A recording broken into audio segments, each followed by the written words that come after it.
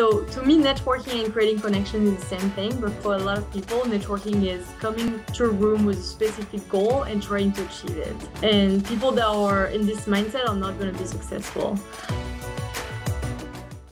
Great. Marion, welcome to Money Bites. Thanks for having me. Super excited. Can you give two bullet points? One bullet point, uh, your career, just an introduction of yourself, and then a second bullet point on something that people don't know about you. Okay, so the first one is easy. I'm director of sales and partnerships for Techstars, uh, and I'm also the New York City chapter founder and director for Women in Tech. The second bullet point: I eat Nutella every single morning.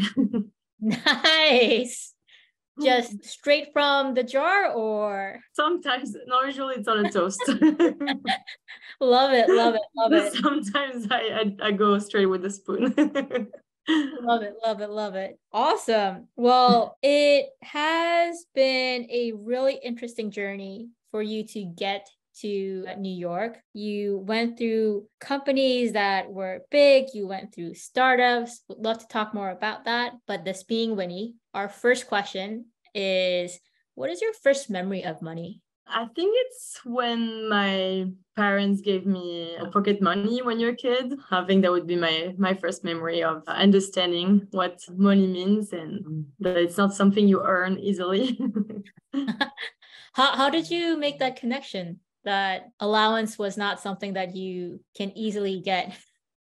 Um, I think it's because my parents wouldn't give me a lot, and they explained me that instead of giving me uh, what I needed for buying clothes and you know buying my food and so on and so on, they just gave me like a little bit for buying gifts for myself and that they mm. would pay for for the clothes so they would still like own the decision of uh, when they would buy clothes when they would buy you know snacks or yeah I love that. So eh, mm-hmm. money sort of equated to a sense of control for you then. Yeah, I guess. Do you think that has changed or impacted your current relationship with money?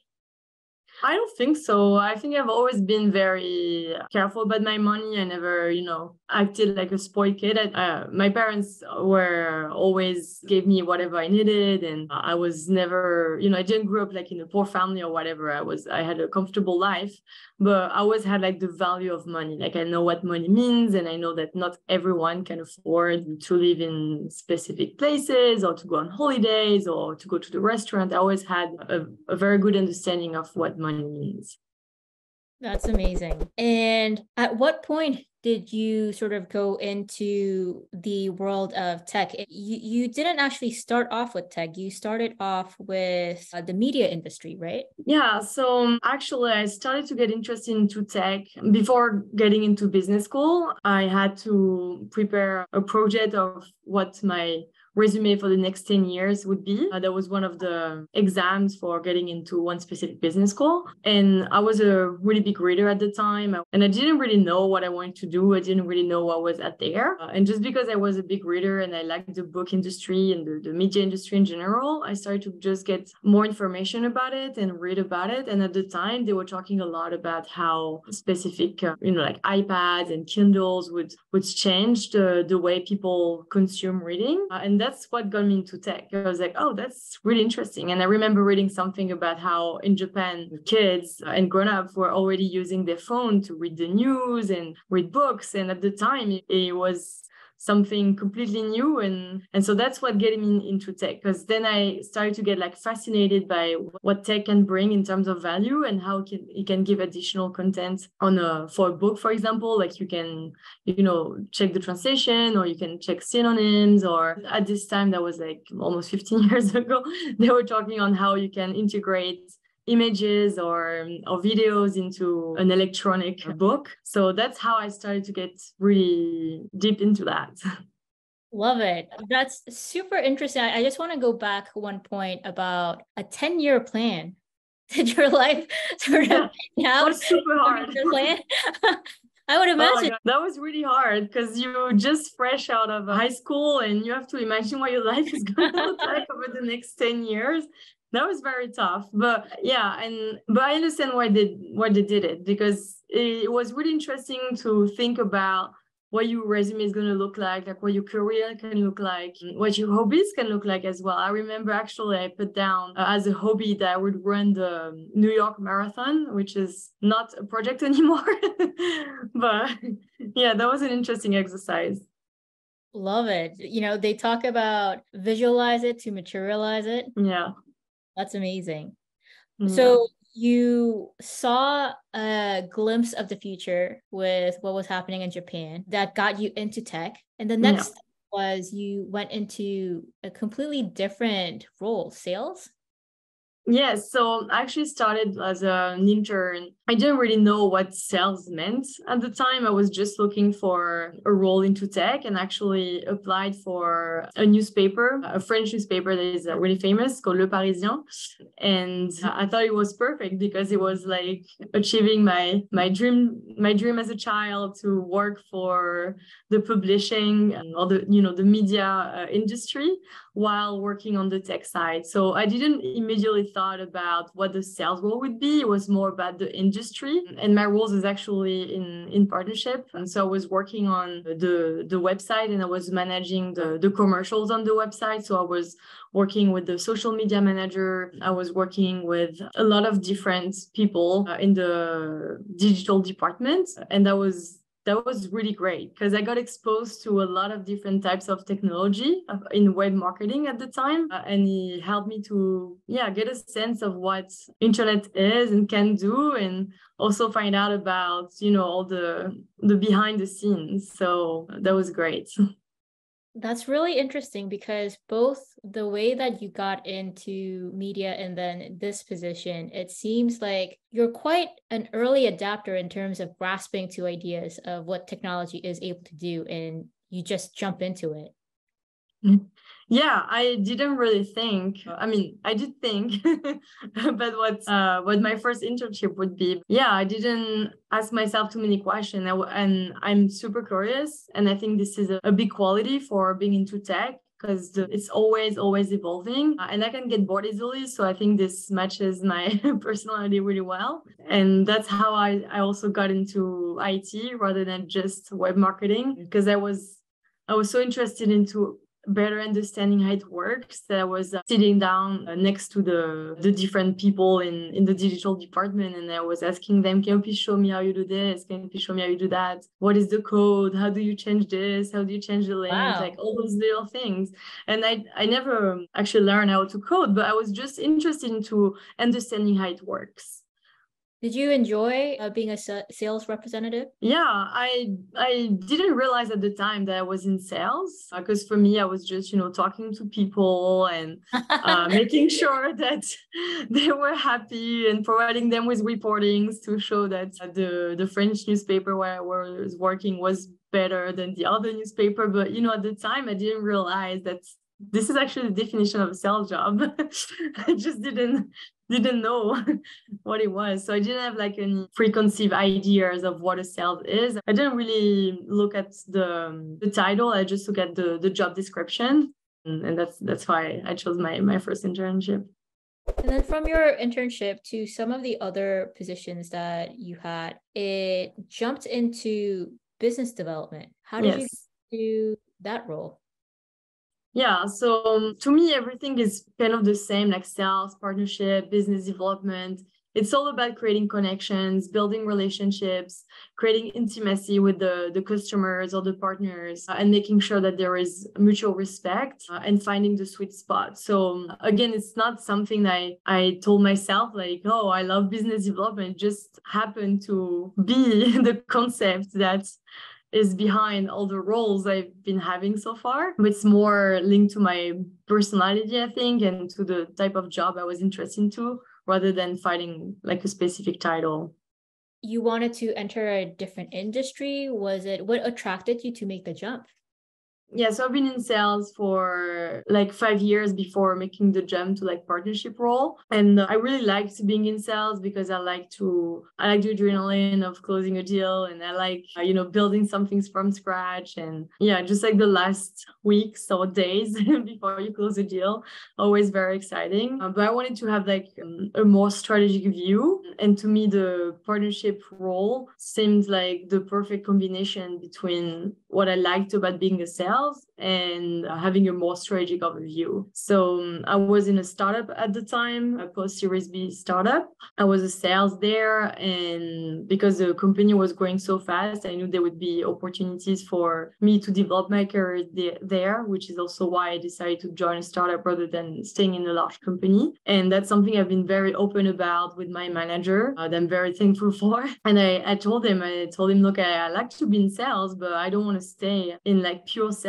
my entire career. I would like to explore other areas. And and so it was really open about it. And then six months later, an opportunity came up, and uh, and the the chief revenue officer decided to put me on on the partnership role, which was a, an amazing opportunity because it was still in sales because you still have to talk about the solution, you have to build relationship, you have to convince someone that your solution is better. But it was also a completely new role in a sense that the job was still different than being in pure sales because I had to build connections between between Microsoft and the startup I was working for. So I kind of had to convince both sides mm-hmm. that they had to work together, which was like a new angle that I never had in sales. Interesting. I want to double click into how you got into that role because I, I, think that's super important. You know, we call it managing up, having your manager get buy in and invest in your own career, not just your manager, but potentially like leadership. You said the chief revenue officer, etc. Mm-hmm. How did you have that conversation and convince the managers and leadership that they should look out for you, that you are the appropriate person for, you know, whatever new role that came up? Yeah, um, so it's something I didn't do in the very first job I had when I was working at Cisco. I never asked for what I wanted because I I don't know if I was too shy or I was like, you know, expecting my manager to just guess what I wanted to do or just to put me where I would be good at. And I've seen, of course, a lot of my coworkers being promoted and and getting specific jobs and it's because they they they required it. So they they ask in advance and that's something that i, I never did. Like uh, when i was working at cisco i never anticipated long enough mm-hmm. that i would be that i wanted to be in a role within a year. So um, when I started the, this new role at the second company I worked for, at this startup, I told myself, okay, starting from scratch again, this time I'm going to speak up and I'm going to share what I want to do. And even if it's not, I want this role at this time on this specific industry or with this specific customer, starting the conversation with just like, hey, I know I don't want to stay in this role forever. I know that I still want to work for the chief revenue officer in the sales category, but not being a sales is still like something that helped your manager to think about the different opportunities. And the conversation I had with him were like, what do you recommend I should do and what what would be the opportunities within the next six six months to one year. Um because i also told him like i don't want to leave right away. And i was just uh, i was six months in my job so my intention was not to change uh, so quickly but just get a sense of what what else was possible uh, regarding my skills regarding my expertise and regarding my past experiences. Uh, and that's a good conversation i had with him. It was like uh, explaining me a little bit about what the strategy was what what the potential departments that would that would uh, hire and is the one that told me i should actually talk to the managers. Not to say hey i want to be in your team but just like hey i just want to better understand what your role is and what's your vision for the next year or two or three years. And get an understanding of what the, the, the job would look like what type of profiles they would expect to then think about it and then think on how I could like shape my day-to-day job to make it a good fit for being in partnerships uh, later. So so that's that's what I did. I discussed with uh, different managers, and I kept being a sales. But be, because I was interested into partnership, I started to add partnership components in my role. So I started to be more vocal about, oh, I'm developing a partnership with this company, or oh, I know we are going to sign a partnership with uh, this other service provider. I actually going for lunch uh, just to better understand what they do, and I started to incorporate elements of what my next role would be in my day-to-day job. I love that. It's mm-hmm. I feel like it's such a good example of luck coming to those who are prepared. You gave two amazing tips right now. So one is be proactive in sharing your intention to your manager ahead of time. Like don't say I want a promotion or whatnot yeah. right before you know the announcements are made. Usually, you know, headcount, etc., are made months in advance. So make sure you give your manager enough time to uh, incorporate that. And the second point that you made, which I think is super smart, is don't just share your intention with your manager, like manage up to the other leadership in your org as well. That's a great, great advice. I, I'd love to piggyback off on that. So you've not only change careers in roles but as you said you you joined a startup you joined a variety of different companies. Would love to hear your thoughts on because when you think startup you have to assess the risk. It, it yes. is more risky than a mature company. So how do you assess risk? Do you have any like internal uh, criteria that you use yeah, I think there was a lot of criteria that that I had at the time when I made the move from moving from a large company to a small smaller much smaller company. I really wanted to change. So um, i looked at other large companies that were kind of like cisco like in it with like a, a role that was a bit similar. So um, I looked at VMware, I looked at IBM, I looked at AWS. And what I did is that I leveraged my network and I contacted coworkers that were working at Cisco that left for going to VMware or AWS. And I also leveraged my network of uh, through my business school. So I reconnected with people I, I didn't see for like two or three years. And I just tried and I didn't know if they would answer, but they did.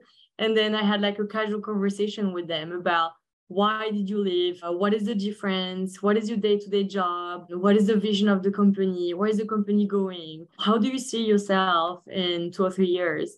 So of course in a more casual way and more like mm-hmm. in a mm-hmm. in a discussion, but that's what I had in mind. And because I was able to build relationships with them before in my day to day jobs when they were working at Cisco and when we were in business school together, it was really easy for me to ask those questions in a very open way. And for them it was also very easy to to answer and be completely transparent. So i think that's my number one recommendation is like reach out to employees that are working at those companies and see what is their mindset and what the day-to-day job look like. And n- not all companies are for everyone. So there are people that won't feel comfortable ever in a large company and just want to work to work for startups. So the risk is also very depending on uh, your mindset and and what you what you call a risk. So i think yeah i think it's very important to to get feedback from the field and then also get feedback from partners or customer that worked with the company you want to get in because they have they have a they will have a different angle. And i think that that, that is really important to to have a different angle from different people. And then have also a feeling like so, some uh, some discussion also about a feeling. Like I, I went through interviews and the company looked great and and the employees looked happy and so on. But when I had my first interview, I just didn't feel comfortable because your manager is also very important. It's a lot of little criteria for, for me uh, to assess the risk. One of the things that I'm very inspired by you is you seem very natural at networking. And also mm-hmm. in your current role, it, just seems to come very natural to you. But for some folks, it's not. It's it's really hard to network. And mm-hmm you also don't want to give off the impression, oh, I'm reaching out to you just to ask you for a job. um, any yeah. advice on how to be a good networker while getting the information that you want from the person? Yes, uh, for me, it's it's about creating connections before networking. So to me, networking and creating connection is the same thing. But for a lot of people, networking is coming to a room with a specific goal and trying to achieve it. And people that are in this mindset are not going to be successful. I heard a couple of people coming to my events and be like, well, I couldn't find a job tonight. So I don't think I'm going to come back. I'm like, yeah, it doesn't work that way. You, you're not going to find a job uh, when you go to a networking event, or if you do, you're super lucky, but it's not going to happen this way. You're going to create a connection with someone that will appreciate you, and then you're going to be able to build this relationship. And then eventually, this person will hear about a job that would be a good fit for you, or will hire someone in, in her team and think about you. But i think that to be efficient when you network it's to really be authentic and and really look into people for who they are whether for their social status or the company they work for. And i really believe that you can learn from anyone uh, and everyone can bring you something different. So maybe you're going to go to a networking event and you're going to talk to someone that's coming from costa rica and you are planning a trip there and you don't know where you want to where you want to stay or what to what to do in Costa Rica. So that okay, it was it's not related to to job, but it still brings you something. Or maybe you're gonna connect with someone that's currently looking for a job. And that actually happened to me. Like I, I connected with someone that, that was looking for a job at the time. She didn't have a job and we just started to be friends because we share a common passion about food. so we started to connect it on that. And then we went for lunch together. And then she happened to find a job at one of the largest banks in America. And now maybe she will be a potential customer or a potential partner or even find a job in her team that is growing over the next six months. I didn't know that when I first met her, but because I was able to create a genuine connection with her based on something we have in common, then the trust is here and it makes it easier to take the next step about oh let's let's uh, make business together. Or oh, i'm looking for for a job. Can you help me? So i think this is really important to to understand that and and to and also think about what can you offer to people rather than what what can people bring to me. So and i i have lot, a lot of students coming to my events and i tell them don't don't say looking for a job. Just ask questions tell them that you just graduated and you are just trying to understand the tech ecosystem rather than saying hey i'm looking for a job in in tech. It's like the the first step is first to understand and what type of job you can do what what is out there, what a, what the market looks like, and that's a good good first step to to have this type of discussion with people. And then within the conversation, maybe those students will realize that actually tech is not for them because they don't find any interest, or maybe they're gonna find out about a new industry that's coming up, or maybe yeah. So it just it's all about being authentic and creating uh, genuine relationships.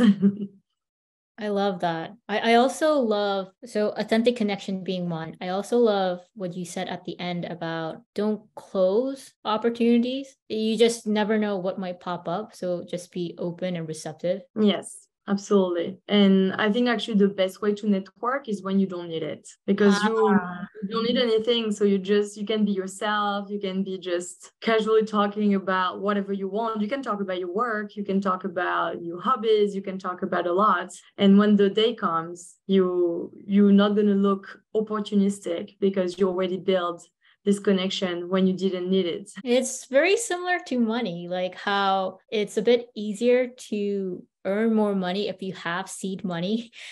Versus if you're just starting from scratch and you really need money then it's, it's, yeah. it's true. Super cool. Want to jump over to how you moved over to new york. You moved countries. You moved jobs.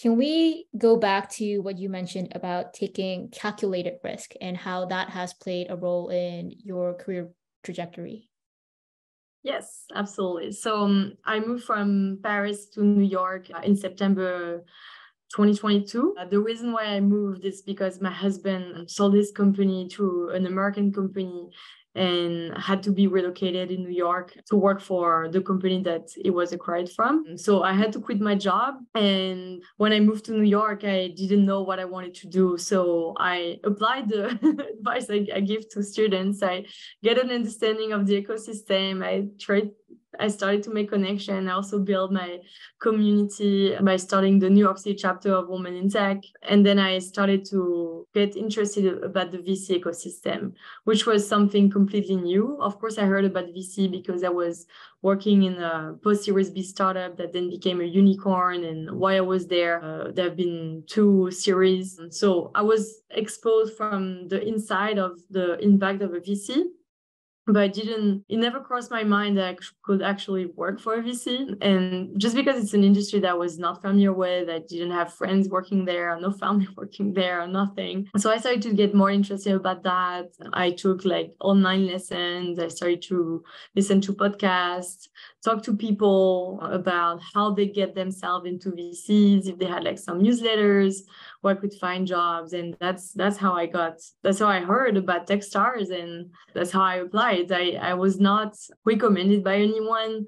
I just applied, which sounds crazy even for me. I was like, oh, I will never find a job if I don't know someone there. Mm-hmm. So hmm. when I applied, I didn't I, I didn't know what to expect because I'm like, yeah, it does just doesn't work that way. I felt like, but it worked, and because I took the time to really customize my CV to make it very relevant for this specific role, uh, and to fill up the there like a couple of questions. So I, I I took my time to answer to these questions and being just authentic. I didn't overthink it. I just shared my experiences without trying to build a fake character because it never works. And then i i i got a i got a positive feedback from the hr and then i leveraged my network. So i got a, a positive feedback from the hr and then i reached out to someone that was working at techstars saying hey i have a first call can we talk so and that's actually what i've been doing uh, during my entire hiring processes is I tried to leverage as much as I could whoever was either working with Techstars or working at Techstars. And so I reached out to a woman in, in Germany that was working for Techstars because we were from the same business school. And I didn't know her. it was completely out of the blue, but I reached out to like five people on LinkedIn that were from uh, my business school and working with sex Techstars, and she was the only one that answered me. And then it happened that um, not too bad. Yeah, yeah. So you you have to try because worst case people are gonna say no. but I tried and I was really determined to get the job. So um, I did whatever I could that was in my power to to augment all the chances to to be hired and get a maximum of information and leverage those contacts as much as I could. I find this super inspiring. I mean, it must have been scary to come to a new country without something else lined up. And you just being tenacious and being open and authentic to find a enter a completely new field. That's wow that's yeah.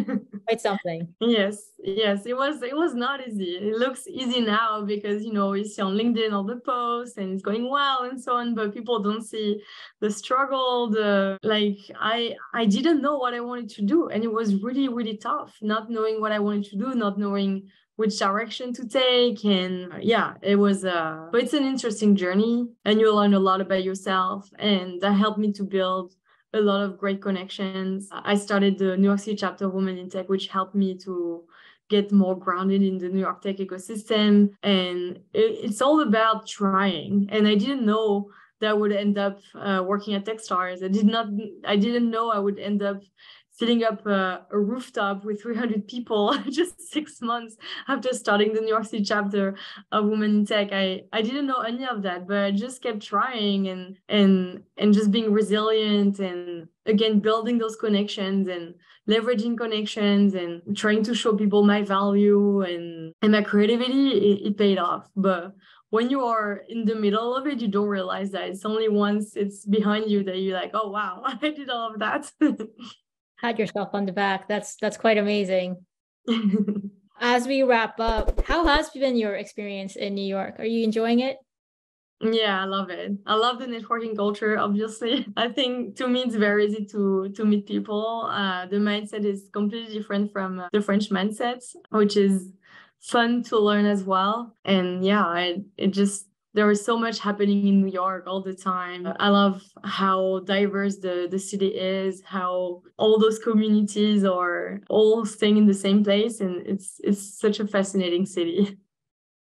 For those who are just starting or in the exploratory phases, like where you were, and they don't know where to start. Any resources you might recommend to start off with if, if they want to be more open and network more? Mm, I think the very first platform i used was eventbrite. So i just took on eventbrite with some keywords tech obviously woman in tech but just starting with Eventbrite. And then the second advice I would I would give is to just put yourself out there and not be afraid to ask questions. A lot of networking events I I found out, or because I ask people, how did you find out about this event? Which event are you going next next week or next month? How often do you do that? What do you recommend? So that's how I found about the next networking events I attended. I found out about newsletters uh, that I didn't know were still thing.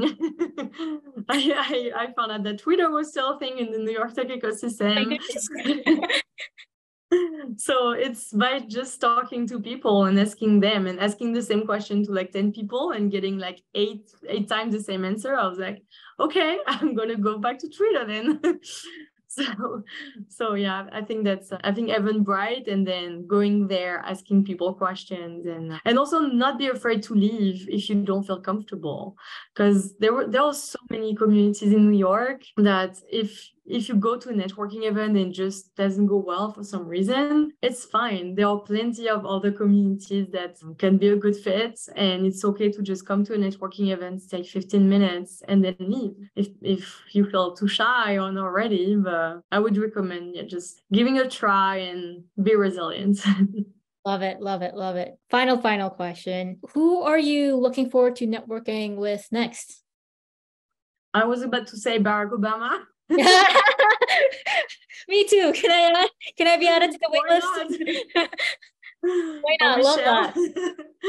yeah, I mean, you know, we are in New York. United Nations are are here, so that's a that's a crowd I haven't tackled yet. Politicians, uh, and I'm sure there are plenty of opportunities to do so. So yeah, man, why not? I love it. I love it. Any challenge. Not that I want to be in politics, but just I think it's a fascinating environment and be exposed to it. So it's interesting. Another example of your amazing curiosity. All right. So when, when I see an update on either Twitter or LinkedIn of you at a dinner table with the Obamas, remember this interview. you love it. Thank you so much. That's so fun. Thank you so much for having me. I really enjoyed our conversation.